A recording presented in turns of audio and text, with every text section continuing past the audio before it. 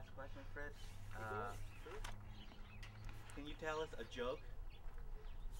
I don't know any jokes. Oh, okay. Uh, Maybe push. Uh,